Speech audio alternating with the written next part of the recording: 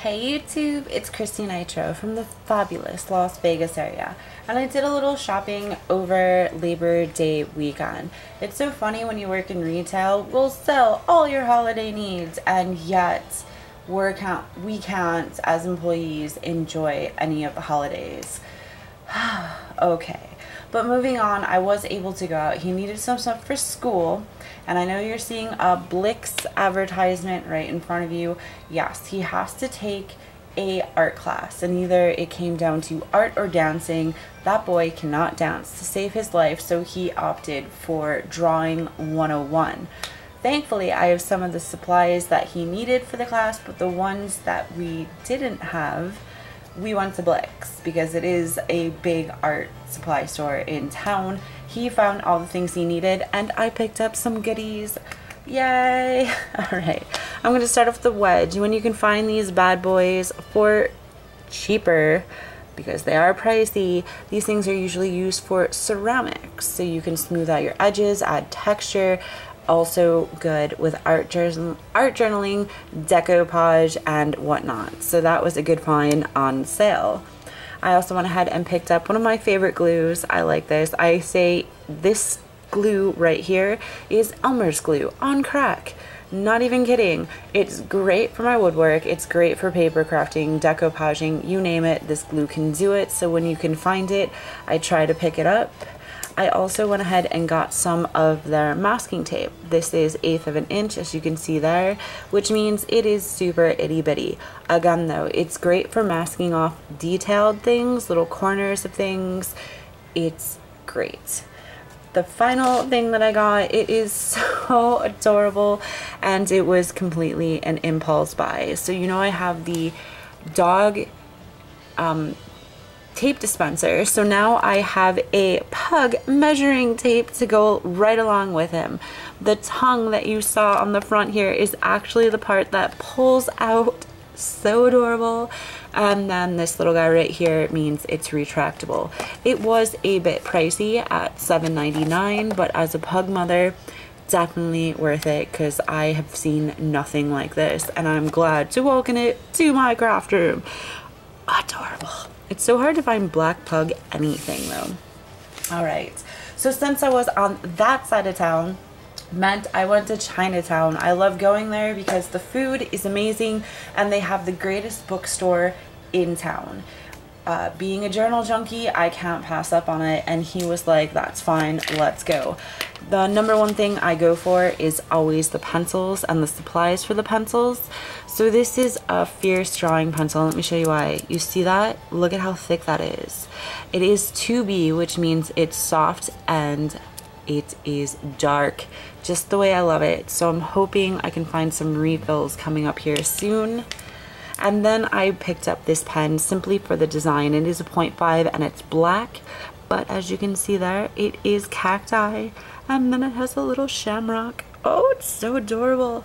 So I'm happy to include him into my collection. Of course, you can't go to one of these bookstores without picking up some kind of washi because they are cheap. Um, a dollar twenty-five for this, and you can see it is some fierce. Maybe you can't. Can you see? There you go right? That's cool. yeah, I can't, yep.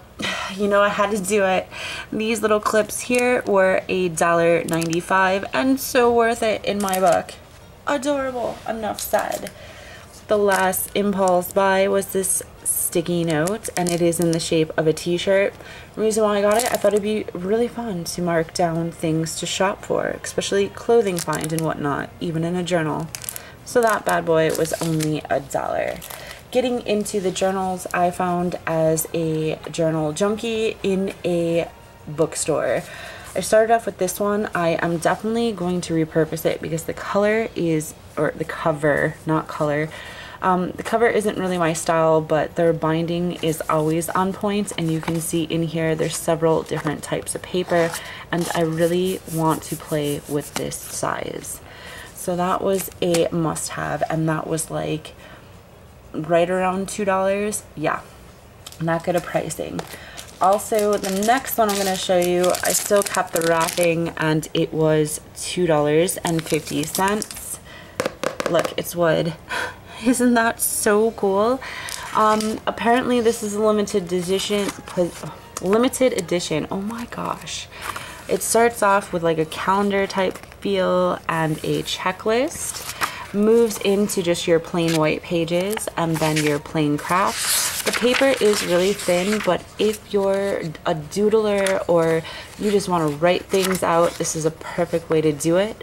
Then you can see the next section, which you have a blank page here with some checkpoints and then your grid. The last section is all about the lines and it ends off that way. So I thought that was a great score with an actual wood cover for $2.50. My next find was around the same price as this. It was only like $2 and you can see it has a little string. It's wood, yeah, wood print, I know. I was on a mission you can see it has a little pocket here with the wood print journal, so you can keep it in this, or you can put it in your own traveler's notebook, and on the inside it is grid, and then that on the back. Super amazing. I can't stress that enough for the price. It's just so different and honestly nothing I can find in the stores around here. This one was a little bit more pricey at come on, 2.95, but it's black, and I thought it'd be a great addition for my traveler's notebook, and it is super panda. Really cute, right? Again, I think it was more expensive because it was black paper. The final thing I picked up at the bookstore in Chinatown was this. And it was pricey at $9.95, but to me it was definitely worth it. I love the prints of the faces. My mom would be proud that it says hippie on the front. But if I can take it off, you bet it, I will. When you open it to the inside, you get one booklet that says time. And on the inside, it has the date, place, today, to do, to go, notes. Really cute for on the go. And then you have your diary section, which is just a notebook of lined paper that has date on the top room to grow, so that means I can make them my own, and look, they're stitched. So I know $9.95 for this might be a little bit pricey, but to me, I can't find this anywhere else in town, and I think it's completely adorable, and I can't wait to make it my own. So that was my little adventure on one side of town this weekend. I hope you guys enjoyed my finds. If you're ever in Vegas, go to Chinatown and hit up that bookstore. It's called just that the bookstore in the mall part. Thank you for watching and as always, keep crafting.